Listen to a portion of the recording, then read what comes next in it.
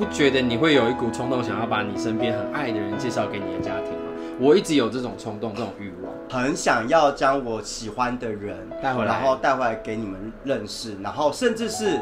我在最无助的时候，我跟我某某几任分手的时候，我那时候我人在国外，，嗯，我无法跟你们讲，无法跟你们分享，哎，然后所以那些痛苦是你一个人承受，因为你人在国外，你没有朋友。对，实际上我的三阿姨，呃我觉得她可能知道，她要回新竹，然后我要回台北，